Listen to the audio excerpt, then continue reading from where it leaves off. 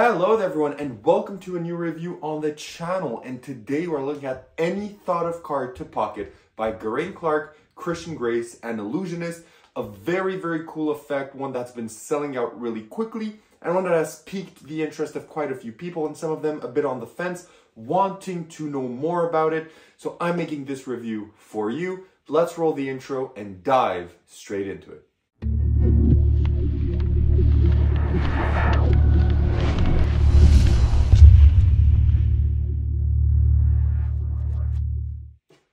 Perfect. So you decided to stick around, which means you want to learn more about any thought of card to pocket. Now, what is any thought of card to pocket? Any thought of card to pocket is essentially an effect where a specter is going to take 10 cards from the deck, spread them in their hand, think of just one, then when they name their card, their card vanishes from their hand and appears inside of your pocket. Very, very simple in premise, and I'm gonna demonstrate it here for you. Now, of course, I don't have a spectator, so it won't play out as good as it would if you had, you know, actual uh, spectators to do this, but even then. So you would mix up the deck, you would give it to the spectator, and then you would tell them to cut the deck in half for them to hold on to that, and you would take this. So you would demonstrate to them that they would have to count the cards like this, one, two, three, etc.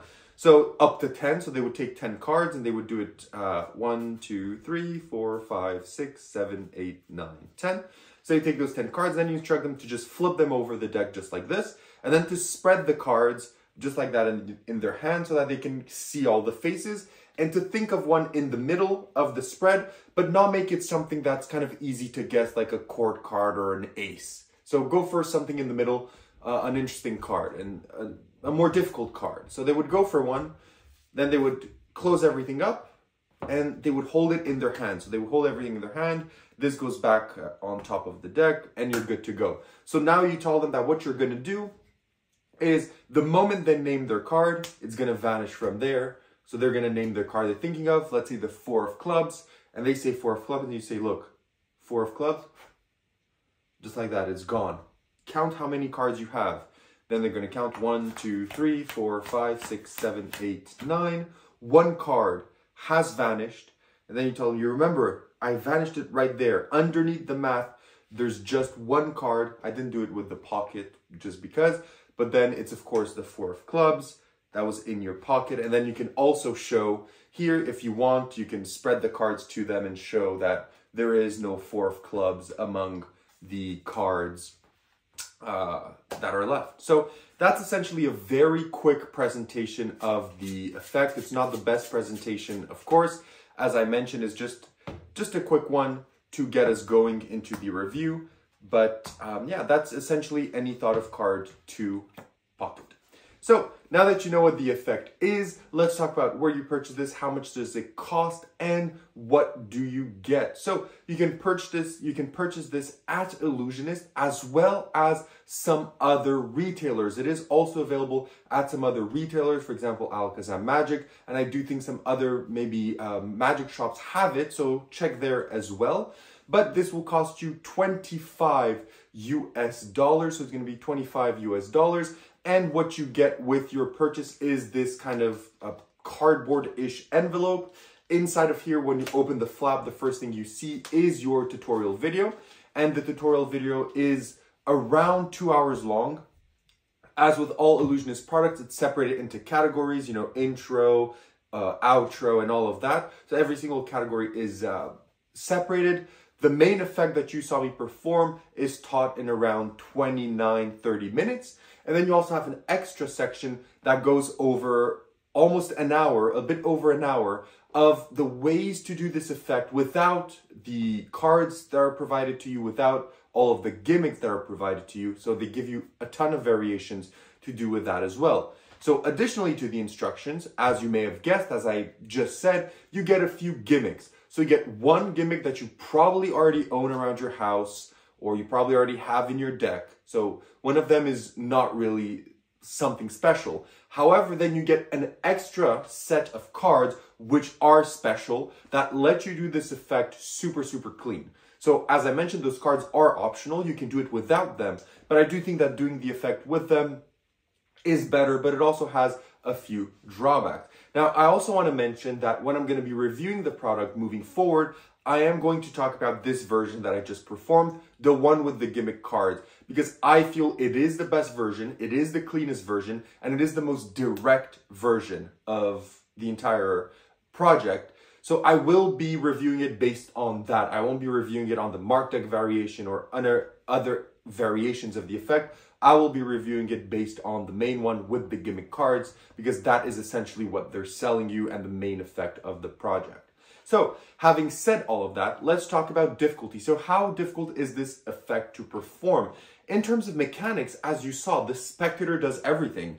This, apart from the shuffle at the start of the effect, the spectator does everything. They count the cards, they turn them over, they spread them, they think of one, they remove them, they keep them in their hand. So they pretty much do everything. So in terms of mechanics and how this works, it is pretty much self-working because you demonstrate with uh, the other half of the deck to your spectators what they're supposed to do, and they're just going to mirror you. So if you tell them you have the cards, flip them over like a book, spread them like this, right? They're going to just mirror what you're doing.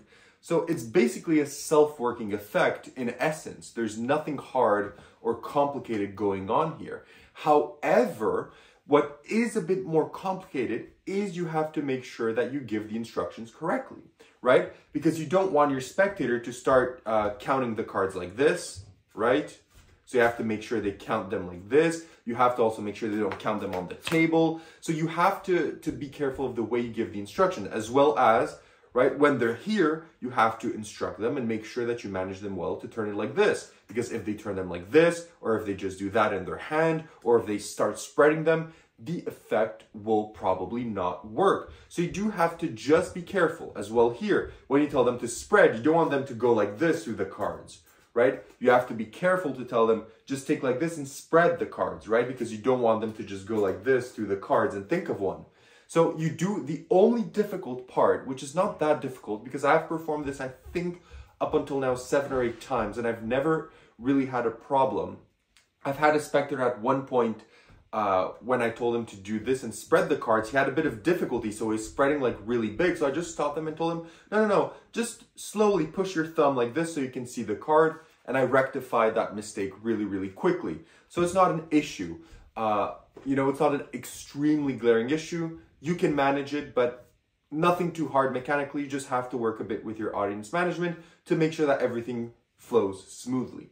Having said that, let's go into practicality. So what do you need to uh, perform this effect? Well, you need a deck of cards and your gimmicks. The gimmicks can fit, so essentially how this effect works can fit in the cellophane of your card box. So you can have your, your deck of cards inside, you do your effects, and then when you want to do this, you can just sneakily go, uh, you know, as you place the deck in your pocket or whatever, add the cards onto the deck or do one of those moves where you keep the deck here and you talk to your specters and then when you remove, you remove the cards and place them on top. But essentially, um, you will need the gimmick cards and um, the the reveals. I'm going to say that. So you're going to need the gimmick cards and the reveals ready. But yeah, pretty much a normal deck of cards with the addition of the gimmick cards and your reveals. So that's pretty much all you need in terms of carrying. Now, having said that, what are the angles? Well, the angles are pretty much 360 because the spectator is handling everything. And no matter the angle that you take, when the spectator is doing everything, it's pretty much 360 degrees. There's no issue uh, regarding that whatsoever. What are also, what is the inspectability of this? Now, because the cards are gimmick, they are not inspectable. So yes, you can spread them on the table and show that their card has disappeared, etc. But you cannot let them take the cards and examine them. You cannot have the cards examined. So you need to be careful of that. What is the reset? The reset, I did it in front of you, basically almost. Uh, this now is fully reset.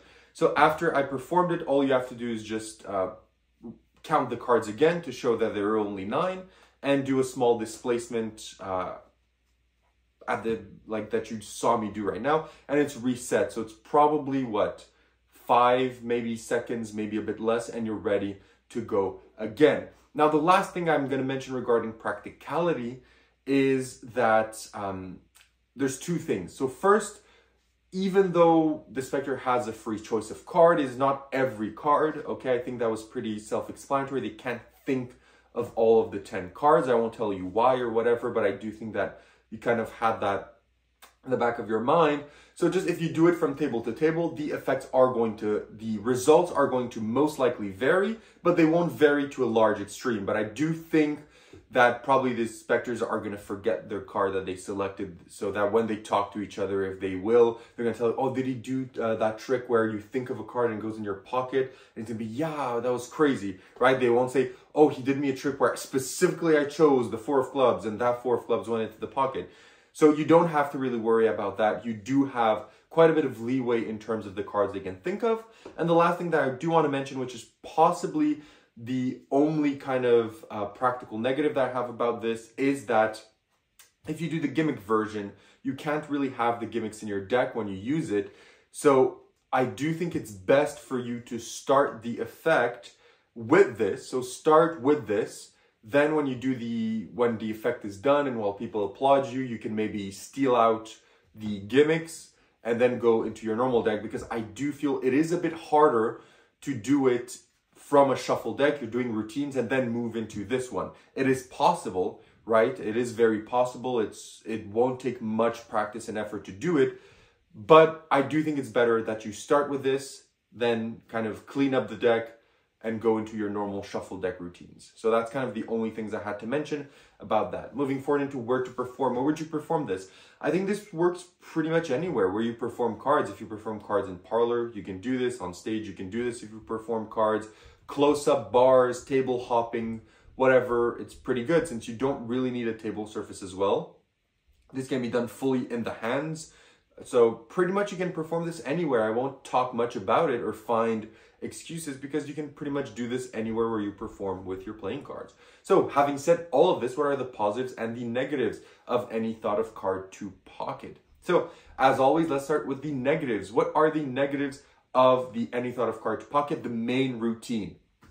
So the main routine, the cards will not be examinable at the end. I don't think there is a need for them to be because it is pretty fair and pretty clean in the way that everything works.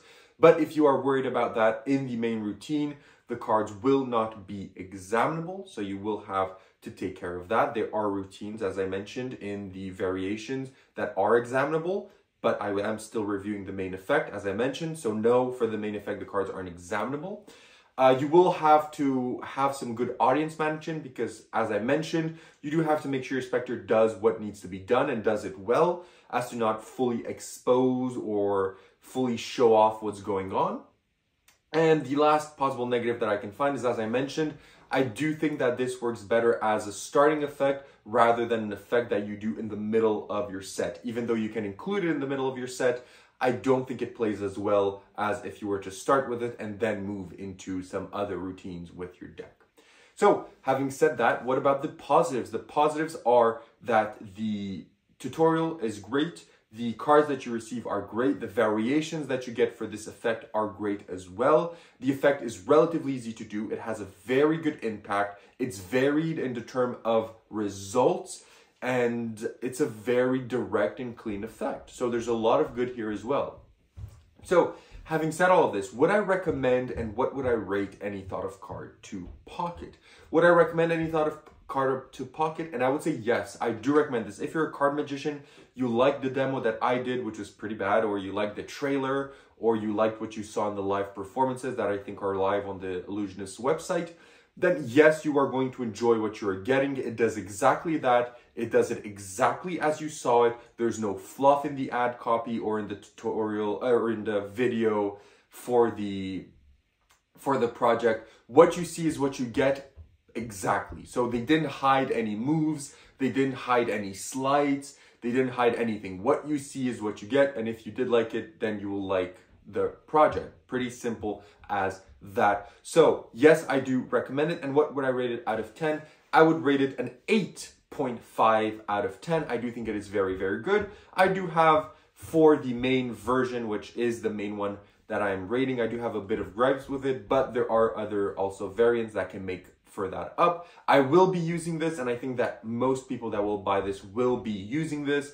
So an 8.5 on 10 for me. So Thank you so much for watching. That's it. That's all I have to say about any thought of card to pocket. If you have any questions, leave them down below. If not, like and subscribe. And I'll see you all in my next video. See you then, and bye-bye.